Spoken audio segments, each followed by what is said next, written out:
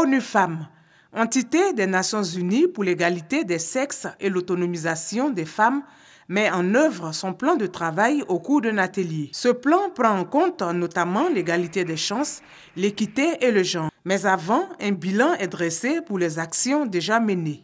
Nous avions un plan de deux ans, 2014-2015. Nous faisons, je dirais, une évaluation à mi-parcours. Nous avons euh, appuyé des activités génératrices de revenus.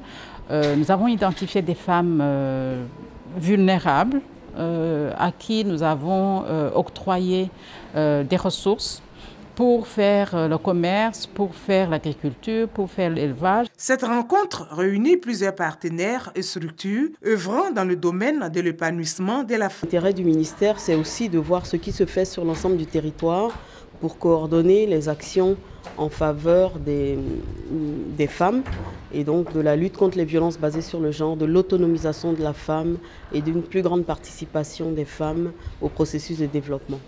À notre niveau, euh, nous avons mis en place 15 comités de veille et de vigilance contre les violences faites aux femmes et aux filles dans les régions sanitaires du Yambol, Katiola, Dabakala et Nyakara. Ces comités ont pour rôle de prévenir, lutter et recenser les cas de violences faites aux femmes et aux filles dans ces, dans ces districts sanitaires. Des recommandations générales pour un meilleur suivi des activités et des stratégies mises en œuvre sont entre autres des présentations faites au cours de cet atelier.